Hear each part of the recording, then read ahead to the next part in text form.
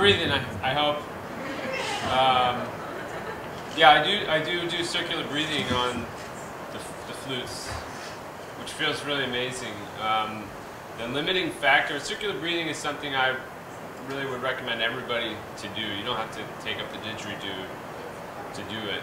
Um, yeah, when I when somebody told me about it, I remember when I was really little, somebody told me about a bicycle, and I said that that won't work. They're in line. How are you going to balance? So I had that sort of mind where things were like not possible until I experienced them. It was the same with circular breathing in high school. Somebody described the concept, and I said, not possible. And I've talked to many people since then who are in that camp, and that's a good starting place. If you're really sure it can't be done, but there's somebody standing in front of you that can show you. Um, so I've done it a lot on the clarinet and the bass clarinet, which was my focus for a long time.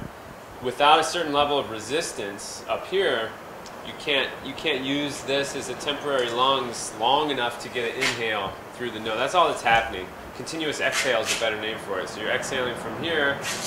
You cut that off with the mm, the glottis, and use this as a temporary lung puff, and then breathe in from directly through the nasal.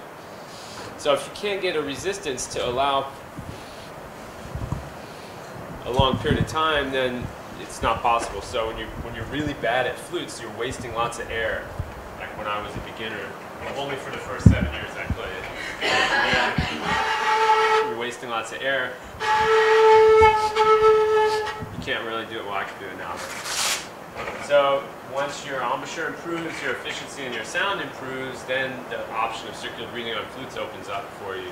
You don't have to puff the cheeks, which is great you do it in the throat or something. It's, it's one of the things I'm really bad at teaching. I like teaching. I like to get to the root of things and have clarity.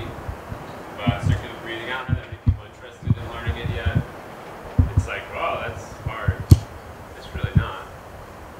Uh, flute itself is difficult. Though. Any other questions while we're doing a little uh, MacGyver over here?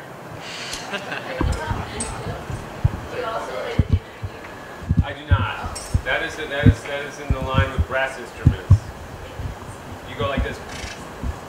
So that's a sound production method on didgeridoo is in line with tuba, trombone, trumpet, and uh, didgeridoo.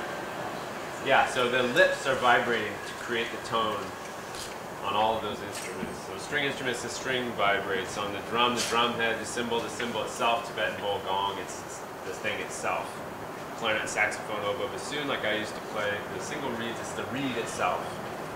So what is the substance that vibrates on all flutes to make the sound? Air.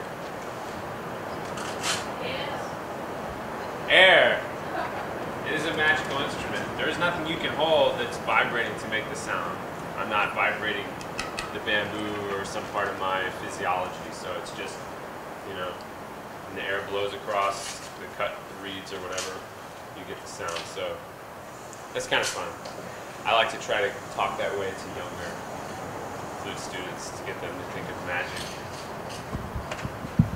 Although I was in a position the other day of taking the side that magic exists versus my fourth grade very sharp silver flute student who was wearing all pink with a unicorn on her t-shirt and she said magic is not real.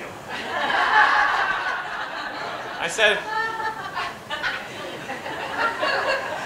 said magic means something coming out of no, out of nothing. I was like, yeah, where'd you come from? She, she knew enough about biology. She kind of had, she kind of had to admit.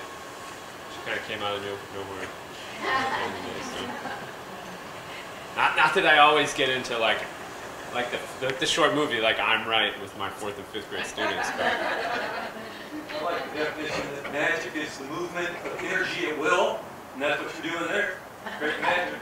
That's a good definition. I created my own definition of magic as maximum power for least effort.